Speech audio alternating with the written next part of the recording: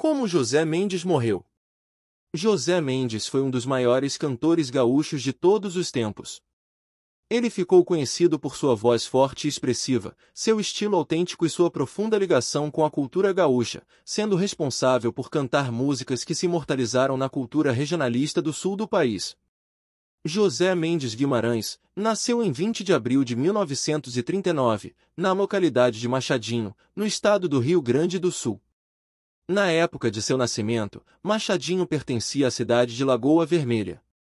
José Mendes era filho de Amâncio Mendes da Fonseca Sobrinho e Noemi Ferreira Guimarães. Sua convivência com seus pais biológicos foi bastante curta. Quando José estava por volta dos cinco anos de idade, eles se separaram, e o cantor acabou indo morar com pais adotivos, na cidade de Santa Terezinha. Durante a adolescência, José Mendes começou a trabalhar como peão de estância nas fazendas da região. Como peão, ele era responsável pelas atividades relacionadas ao manejo do gado, aos cuidados com os cavalos e à manutenção das instalações das fazendas. O contato direto com o campo e as tradições do Rio Grande do Sul despertou no jovem interesse pela música regional. Com 14 anos, ele formou sua primeira dupla musical, chamada Os Irmãos Teixeira. Embora a dupla fosse amadora e com poucas perspectivas de conseguir algum prestígio pela região, serviu para José Mendes iniciar sua vocação. Em 1958, já com a dupla desfeita, o cantor foi prestar o serviço militar na cidade de Vacaria. Após cumprir um ano de serviço militar obrigatório, ele decide se dedicar exclusivamente à música. Em 1960, José Mendes forma o trio Os Seresteiros do Pampa com Florentino Rezende e Dinarte Silva. O trio até consegue realizar algumas apresentações pelo Nordeste Gaúcho e por algumas cidades catarinenses. Porém, as apresentações do trio não demonstravam que eles conseguiriam gravar um disco ou mesmo fazer shows maiores. José Mendes resolve sair do trio musical e tentar ir em busca de oportunidades mais vantajosas. Ele pede 20 mil cruzeiros emprestados a um amigo, para poder ir até São Paulo tentar gravar um disco. Chegando na capital paulista, José Mendes, sem conhecer ninguém, acaba indo dormir na rua, e se alimenta basicamente de pão e banana. Porém, sua força de vontade e perseverança dá resultado, e ele acaba conseguindo gravar seu primeiro LP, pela gravadora Continental, usando o nome artístico de Gaúcho Seresteiro. O disco se chamava Passeando de Pago em Pago e era uma crônica de suas viagens pelo Rio Grande do Sul. Depois da gravação do disco, ele volta para o Rio Grande do Sul e se muda para Porto Alegre, onde se apresentou em diversos programas de rádio e fez amizade com outros artistas gaúchos. Em 1967, ele gravou seu segundo LP pela Copacabana, usando seu nome verdadeiro.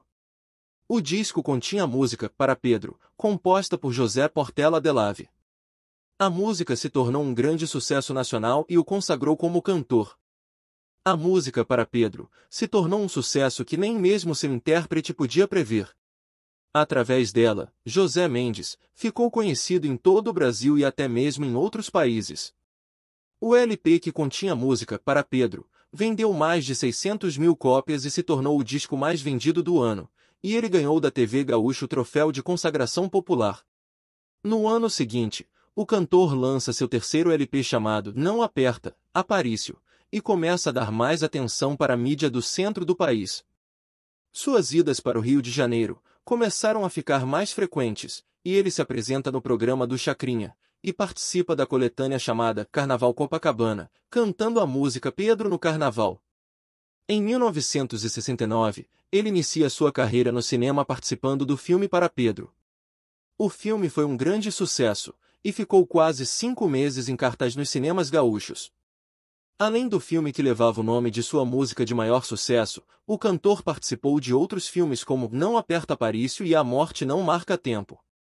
No início da década de 70, José Mendes ainda estava com sua popularidade alta. Ele foi convidado a desfilar no Carnaval Carioca, pela Escola de Samba Unidos de Vila Isabel, que tinha como enredo as Glórias Gaúchas. Será em pleno ápice de sua carreira e juventude que o cantor vai perder a vida. Em 15 de fevereiro de 1974, José Mendes estava viajando em sua caminhonete veraneio, junto de outras três pessoas. Ele tinha acabado de fazer um show em um circo na cidade de Pelotas, e estava se deslocando para outro show em Santa Vitória do Palmar. No meio do caminho, sua caminhonete colidiu de frente com um ônibus, na localidade de Povo Novo, na rodovia entre Rio Grande e Pelotas. Além de José Mendes, outras três pessoas que estavam na caminhonete perderam a vida no acidente. José Mendes faleceu no dia 15 de fevereiro de 1974, em decorrência das graves lesões adquiridas no acidente. Ele estava com 34 anos. O cantor foi sepultado em Porto Alegre, no cemitério da Irmandade Arcanjo São Miguel. Durante seu sepultamento, seus amigos e fãs realizaram diversas homenagens para o artista, cantando suas músicas e fazendo discursos que exaltavam suas qualidades. Em 2004, seus restos mortais foram trasladados para o Memorial José Mendes, na localidade de Santa Terezinha, onde ele passou sua infância. José Mendes deixou um legado de mais de 80 músicas gravadas, que retratam a cultura, a história e as belezas do Rio Grande do Sul. Ele é considerado um ícone da música nativista gaúcha e um dos maiores representantes da arte do Rio Grande do Sul. Ele é sempre homenageado nos centros de tradições gaúchas e em festivais de música regional. Ele recebeu diversas homenagens póstumas, como o Troféu José Mendes, que premia os melhores da música gaúcha, e o título de cidadão honorário do Rio Grande do Sul. E foi assim que José Mendes morreu. Se você gostou deixe seu comentário e inscreva-se no canal. Até o próximo vídeo.